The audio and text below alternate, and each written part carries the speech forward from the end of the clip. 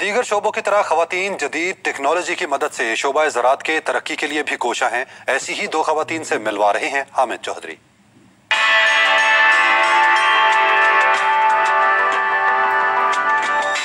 نواز شریف زرعی یونیورسٹی کے شعبہ زرعی انجینئرنگ کی assistant professor doctor Shazia Hanif نے جاپان سے پی ایچ ڈی کی۔ یہ اپنے ریسرچ ورک کو پاکستان میں بروئے کار لانے کے لیے کوشاں ہیں۔ ڈاکٹر شازیہ نے سولر ڈیفیشنٹ ڈرائر بنایا ہے۔ اس ڈرائر میں کسان موسمیاتی خرابی کے باوجود اپنی فصل کو خشک کرنے کے بعد لمبے عرصے تک محفوظ کر سکتے ہیں۔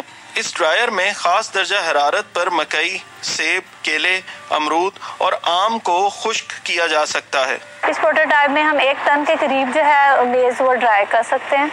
اس کا جو مین اس کا پرپز ہے وہ یہ ہے کہ ہماری جو اکثر ہارویسٹ ہوتی ہے میز سردیوں کے سیزن میں جب ہیومیڈیٹی بہت زیادہ ہائی ہوتی ہے اور ہمارے پاس سن شائن بھی کم ہوتی ہے، اس ٹائم پہ اس کو سیفلی ڈرائی کرنے کے لیے اس کو تجویز دیا گیا۔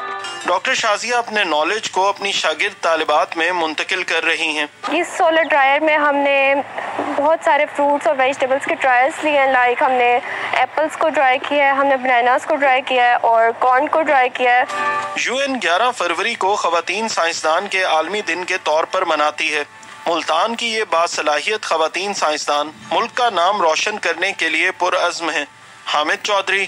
Express News Multan